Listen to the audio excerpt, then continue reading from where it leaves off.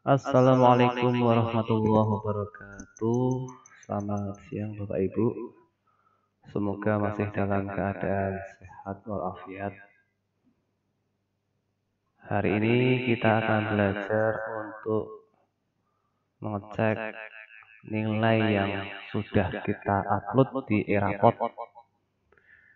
Langkah yang pertama, pastikan ketikan Erapot.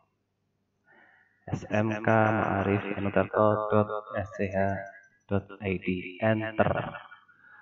Nah kalau sudah muncul seperti ini ketikkan email panjenengan. Langsung passwordnya diketikkan. Pilih semester genap. Masuk. Nah, tunggu beberapa saat di sini sudah muncul pelajaran yang kita ampuh. Nah, di sebelah sini, sebelah kiri ada beberapa menu. Kemarin kita sudah belajar ke perencanaan, sudah terisi semua. Penilaian sudah terisi.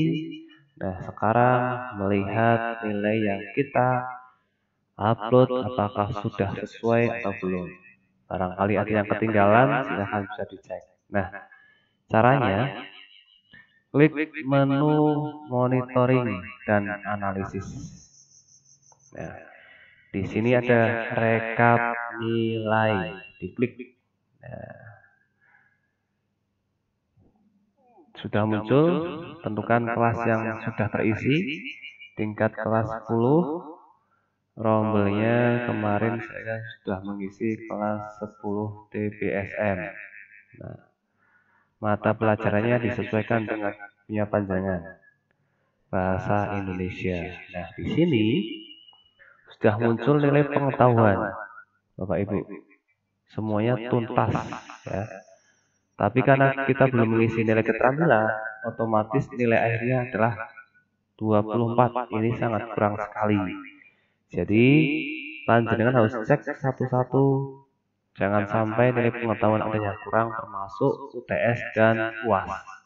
Kemudian keterampilan dipastikan sudah terupload dan nanti di NA-nya harus di atas KKM.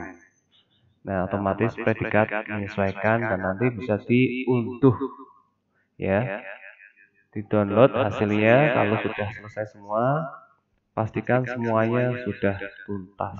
Nah, ini nanti disimpan dalam bentuk Excel.